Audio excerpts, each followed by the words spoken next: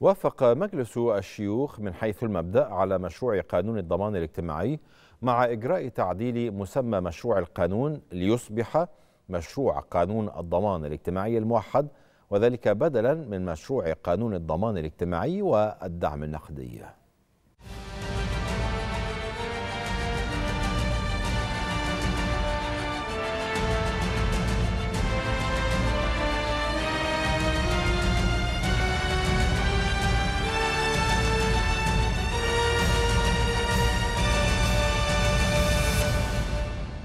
برئاسة المستشار عبد الوهاب عبد الرازق عقد مجلس الشيوخ جلسة جديدة لاستكمال نظر مشروعات القوانين المدرجة على جدول أعماله. وخلال الجلسة وافق المجلس على إحالة أحد عشر تقريرا للجان النوعية إلى الحكومة لاتخاذ ما يلزم بشأن ما ورد بها من توصيات. فالموافق من حضراتكم على ما انتهى إليه رأي اللجان النوعية في جميع هذه التقارير يتفضل برفع يده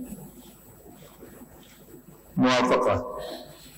إذا تحال هذه التقارير إلى الحكومة لاتخاذ اللازم في شأن ما ورد بها من توصيات. وشهدت الجلسة موافقة المجلس من حيث المبدأ على مشروع قانون الضمان الاجتماعي والدعم النقدي بعد مناقشة بعض مواده في الحقيقة أن مشروع هذا القانون يثبت أن الجمهورية الجديدة هي جمهورية الحماية الاجتماعية.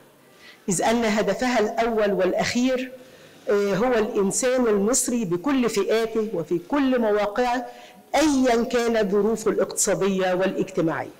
هي جمهورية لكل مواطنيها. ترعاهم وتعمل على حمايتهم وتضع ذلك في صدارة أولوياتها.